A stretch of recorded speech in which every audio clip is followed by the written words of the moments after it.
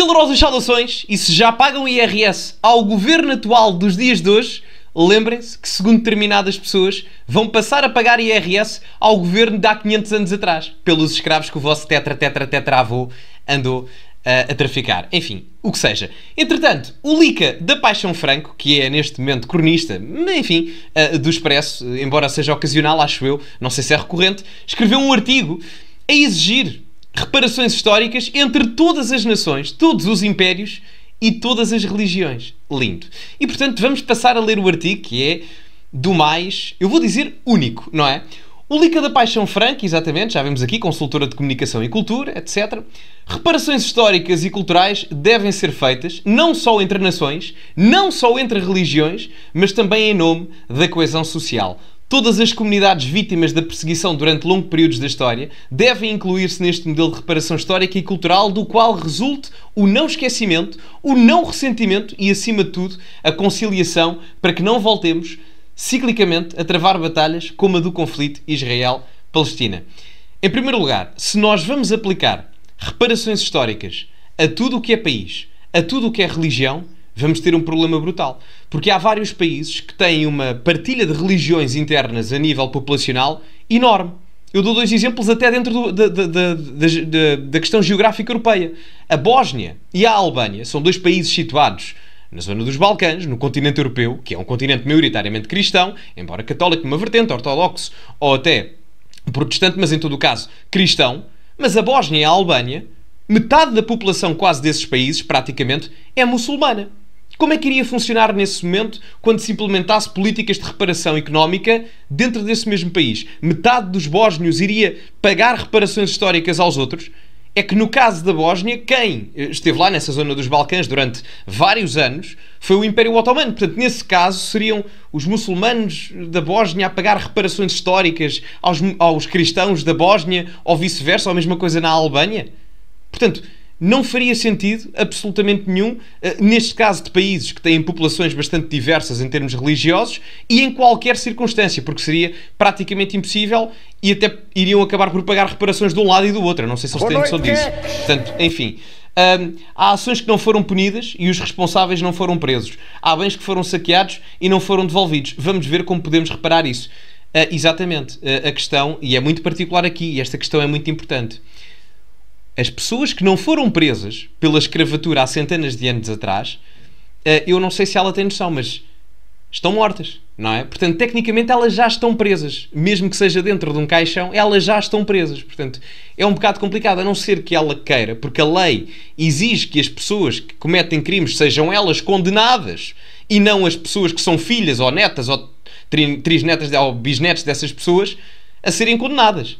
Portanto, não sei se, se há aqui a percepção disso, não é? Portanto, uma pessoa perante a lei é julgada e condenada ou não consoante os crimes que essa própria pessoa faz. Não de alguém que eu nem sei se era meu familiar ou não há 500 anos, teve que fazer. Enfim, continuando para baixo, as palavras são do Presidente da República Portuguesa, Marcelo Rebelo de Sousa, ditas na véspera dos 50 anos do 25 de Abril, em jeito de lembrete do que ele próprio já havia proferido na Assembleia da República por ocasião da visita oficial de Lula da Silva, Presidente da República Federativa do Brasil, no mesmo período do ano passado. Faço a minha declaração de interesses. Sou filha de um ex-preso político da PID, que a 21 de fevereiro de 73 era ele ainda menor de idade. Foi acordado e levado da casa dos seus pais às 6 da manhã, nas traseiras de um jeep com de polícia até ao pavilhão da Divisão de Investigação de Delegação da PID, em Luanda, arrastado pelo agente Balsava, um, Baltazar do Nascimento Bulas. Eh, eu acho que as duas coisas podem ser verdade ao mesmo tempo. Nós podemos chegar aqui e dizer, certo, isto é péssimo, o que aconteceu um, ao pai desta cronista é péssimo, nunca deveria acontecer em qualquer tipo de circunstância, obviamente. Isso é reconhecido e acho que quem discordar, enfim, uh, as pessoas têm direito à sua opinião, mas acho que isto é só desumano, não é? Mas em todo o caso, isso não valida que uma pessoa terá que ser responsabilizada por o que aconteceu no caso há 50 anos atrás, não é? E atenção, isto aqui já nem diz bem respeito a questões de escravatura e etc, etc. Enfim, isto já são abusos de poder, mas nada tem a ver com isso. Portanto, vamos imaginar que, por exemplo, em 73 era a altura dos meus avós. Os meus pais seriam muito novos, não é? Nessa altura. Mas ninguém poderá ser condenado à luz da lei atual por crimes que foram os avós de alguém a fazer. Não faz sentido, não é? Enfim, o meu pai, para além de vítima de tortura, viu suspensa a sua juventude, interrompidos os seus estudos no então Liceu Salvador Correia, viu-se privado de liberdade de fevereiro de 73 até junho de 74 e apartado de convívio familiar salutar a que qualquer adolescente de idade dele tem direito. Na mesma noite, um amigo do meu pai, Vitorino Ferreira Nicolau, igualmente ex-preso político e ainda vive, fez-me o seguinte relato. Uh, vamos só ouvir o relato, já expresso a opinião a seguir. Entrou o Bulas no meu quarto, eu tinha alguns panfletos e livros sobre a minha mesa, identificaram-me. Entrei na parte traseira do Land Rover, havia um cão polícia e havia um informador sentado à frente que eu não reconheci. Ele estava proibido de se voltar e eu de me virar para ele. Circulámos um pouco à volta, provavelmente para eu não me aperceber da rota e seguimos para a PID, para o São Paulo. Entrámos pelas traseiras ao lado da antiga administração, atrás de mim vinha um outro carro, provavelmente com outros prisioneiros. Durante o percurso, fui levando pancada. O que pare... Já continuo o resto do artigo, eu só queria dizer uma coisa.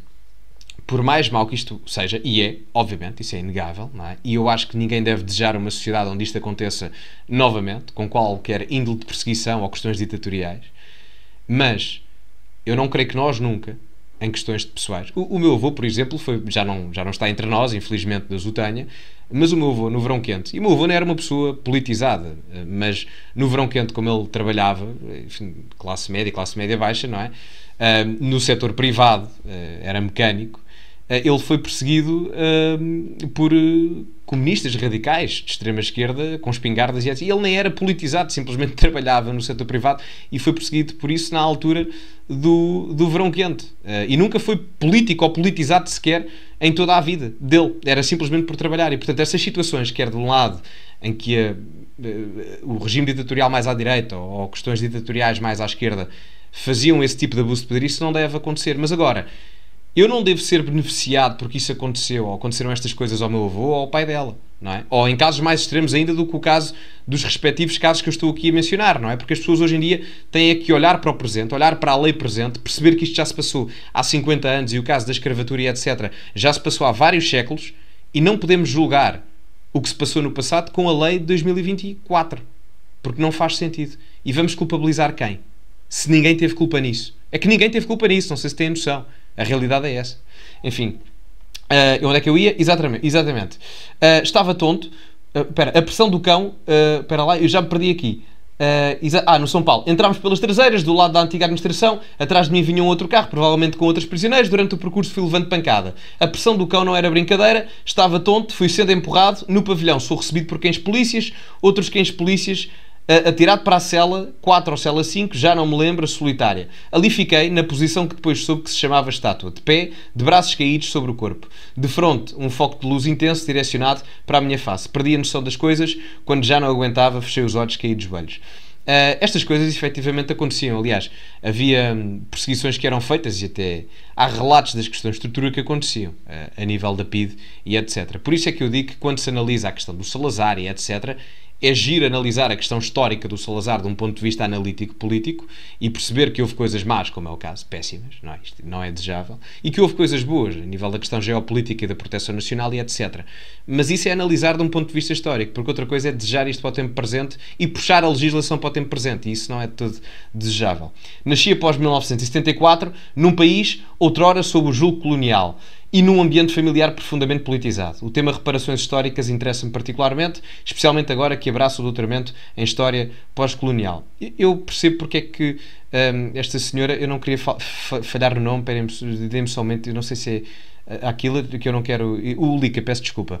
O Lica, um, eu percebo a questão pessoal e às vezes isso afeta-nos particularmente, todos somos humanos, uh, mas a questão é que eu, eu também creio que a questão académica importa aqui, não é? Porque estamos a falar de uma, noite, do, uma doutoranda em História e muitas das vezes estas questões de reparações históricas são do papel. Não, podemos falar disso em ideias, correto, eu compreendo, na academia, mas passar isso para a prática nem sequer é. Em primeiro lugar, não é justificável, e em segundo lugar, pouco me parece execuível. Principalmente não é justificável, mas em segundo lugar, não é execuível. Até porque vamos imaginar que há houve miscigenação ao longo de todo o Império Colonial Português. Portanto, há pessoas que poderão ser brancas nos dias de hoje, mas que podem ter antepassados de outras etnias que pertenceram a vítimas do passado colonial, portanto, e vice-versa. Portanto, como é que nós vamos delinear isso tudo? Vamos obrigar as pessoas a fazerem árvores genealógicas quando nem sequer há factualidade comprovada a 100% para obrigar a essas reparações? Primeiro, não se justifica, não é justificável, e segundo, caso fosse, não é execuível, é muito complicado. O colonialismo fez um incontável número de vítimas que somou as, às vítimas herdadas da escravatura, como um tapete Boa vermelho de escada abaixo, entrou pelas gerações fora e foi ceifando-as uma após a outra, ora de forma mais fria, ora de forma mais subversiva, sempre em crescente. O tema reparação histórica não deve cingir-se exclusivamente aos países colonizados ou colonizadores. É um tema central de interesse mundial que exige maturidade, política de todas as nações, particularmente as com economias desenvolvidas, no sentido destas últimas se unirem na criação de um modelo de reparação universal e justo. Um, mas a questão é que, por exemplo, uh, os Estados Unidos também eram uma colónia do Reino Unido e os Estados Unidos, nos dias de hoje, são a economia mais desenvolvida do mundo. A realidade é essa. Tem o maior PIB, uh, tem um dos PIBs per capita mais elevados, o índice de desenvolvimento humano poderia ser melhor, mas efetivamente, apesar disso, controla o sistema financeiro a nível mundial, porque o sistema financeiro baseia-se no dólar americano e não deixavam de ser uma colónia, não é? Portanto, a minha questão é como é que isso se justifica em todos os casos. Macau, por exemplo, também era uma colónia de Portugal e, na verdade, Macau hoje em dia tem índices de PIB per capita e índices de desenvolvimento humano superiores aos de Portugal, que era o país colonizador. Portanto, como é que é? Qual é a reparação aqui, não é? Portanto, eu acho que o argumento não se justifica. Uh, honestamente, não é justificável. Todas as comunidades vítimas de perseguição durante longos períodos da história devem incluir-se neste modelo de reparação histórica e cultural, do qual resulta o não esquecimento, o não ressentimento e, acima de tudo, a conciliação, para que não voltemos ciclicamente a travar batalhas como a do conflito Israel-Palestina. Uh, a história é cíclica, também porque na dialética entre vencedores e vencidos, acontecimentos do passado são ocultados os subvalorizados em prol da narrativa vencedora, os lugares de poder direcionam quase sempre o curso da história. Correto, por isso é que em lugares de poder, muitas das vezes nas tribos africanas, quanto à altura da escravatura no século XV, XVI e etc., era feito muitas das vezes com o incentivo e com o ganho financeiro dos próprios reis africanos. Portanto, nessa ótica, tendo em conta que o poder institucional dos países africanos também passava a ganhar com a questão financeira da escravatura, também esses países africanos terão que pagar, já que a institucionalidade da altura ganhava com isso? Eu, eu não sei. É que a questão muitas das vezes nem é as nações entre si, é uma questão de elites contra massas. E isto não é populismo, é a realidade. O populismo às vezes está certo. França, Bélgica e Alemanha, por exemplo, implantam políticas de reconhecimento de crimes contra a humanidade, crimes patrimoniais e práticas contra a dignidade humana das populações de países colonizados. Do oficial pedido de perdão da Alemanha perante a Namíbia, aos atos simbólicos do governo de Macron perante a Argélia, assumir que o não dizer na história tem custos estrangeiros nacionais é urgente. Uh, mas está mal, do ponto de vista, por exemplo, a França, se vai optar por isto, está a ser hipócrita. Macron está a ser hipócrita. França não invadiu Portugal por três vezes. Portanto, nesse sentido, a França tem que pagar a Portugal. Não é? Se seguirmos esta lógica, à linha e à risca, a França, então não tem que pagar apenas à Argélia. A França vai ter que pagar a Portugal pelas invasões que fez. Três vezes. Espanha vai ter que pagar a Portugal. Não é? Exatamente a mesma coisa. Portanto, seguindo a lógica, enfim, do vanguardismo pós-colonial ainda não resultaram balas de ouro. Uma declaração universal que sirva ao propósito de criar a legislação, procedimentos, regras que permitam que uma nação, grupo étnico ou região vítima da opressão possa reclamar reparação com base num estatuto retificado internacionalmente.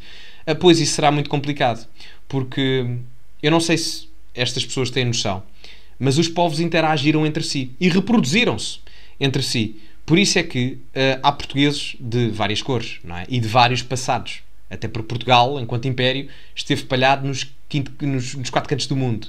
Portanto, será muito complicado que um grupo étnico em específico ou um país em específico uh, consiga fazer isso por uma questão de diversidade. E, eu, é, é que até parece hipócrita, porque quem está a falar de diversidade até sou eu, não é? Mas é a própria diversidade que impede que o argumento dela seja correto. A realidade é essa, não é? Até, a vida é irónica, não é? O ideal fundador da ONU e da sua, e da sua corte jurisdicional, o, Tribunal Internacional de Haia, pode servir de alavanca uh, para, como modelo, para como modelo que resultou da Segunda Guerra Mundial ser modelo a aplicar no mundo pós-colonial. Esqueçam isso. Isso não vai acontecer, até porque em várias organizações internacionais, vou dar o exemplo do, por exemplo, o TPI, o Tribunal Penal Internacional.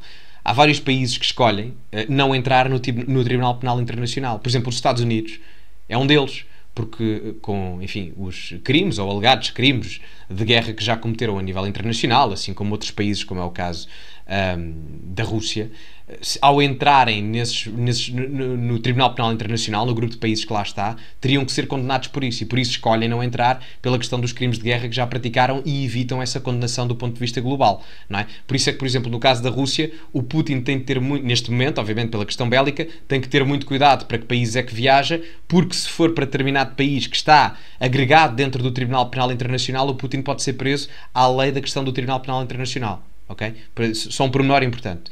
Uh, o cânon restaurar a condição original é um princípio do direito internacional que obriga os Estados a reparar danos decorrentes de atos ilícitos cometidos pelos, mesmo, pel, pelos mesmos, responsabilidade internacional dos Estados. Pelo que argumentar que da mesma forma não se coloca a questão de Portugal pedir à França indenizações não faz sentido. Uh, isto, ela está a tentar rebater o meu argumento que eu dei anteriormente. Indenizações pelas invasões napoleónicas também não existe qualquer necessidade de proceder à restituição ou reparações por políticas esclavagistas e coloniais. É tão desonesto como ignorante. Não, não é. Não, não é. Até porque porque em inglês a palavra escravo vem de slave, não é? E slave vem de eslavo. E portanto os eslavos estão no continente europeu. E são pessoas, para não dizer totalmente, ou mas maioritariamente, de pele branca. Portanto, uh, o argumento funciona. Aliás, a quantidade de eslavos que eram escravizados, eh, que foram escravizados pelo Império Otomano também, era, era, enfim, era, era, era surreal. Portanto, claro que o argumento faz sentido. Faz, faz todo o sentido. Aliás, seria hipócrita era não considerar esse argumento. E aqui, para terminar, o discatério para diálogo interreligioso, instituído pelo Vaticano na Constituição Predicata Evangelium, promulgada pelo Papa Francisco em 2022, é um outro exemplo de conciliação com vista à inclusão, confirmando o caminho do diálogo numa postura de escuta, estima e respeito, como se lê no artigo 148 eh, dessa Constituição Apostólica. Eh, eu deixo só aqui uma questão que é se nós queremos efetivamente ser boas relações para o futuro, então não deveríamos estar presos a questões do passado que são muito difíceis de justificar no presente e ainda mais de aplicar em termos da sua execuibilidade. É, além de ridículo, parvo. Peço desculpa, mas a realidade é essa. Eu acho que os países europeus, os países africanos, americanos, seja que país for, de diferentes culturas e religiões, podem, através de outros mecanismos de interação, funcionar muito melhor por questões bilaterais ou multilaterais, comerciais, seja o que for, do que estarmos a tentar reparar aquilo que aconteceu na história e até reescrevê-la. Não faz sentido, não é justo, nem é correto. Portanto, uh, enfim, meus amigos, digam-me o que acham nos comentários. Eu achei por dentro trazer isto aqui, porque acho que, enfim, uh, era bom partilhar. Portanto, digam-me o que acham nos comentários. Acho que é só, enfim, narrativa puxado à esquerda, é o que é, não é? Mas enfim, uh, metam like no vídeo, uh, subscrevam o canal, que ajuda imenso. Partilhem também nas vossas redes sociais. Eu nem sei se pus aqui o código da Prozis ou não, mas o código Sousa10 na Prozis para 10% de desconto no segundo link da descrição. Ficamos por aqui, muito obrigado a todos e, como é habitual, acima de tudo, cultivem-se e até à próxima.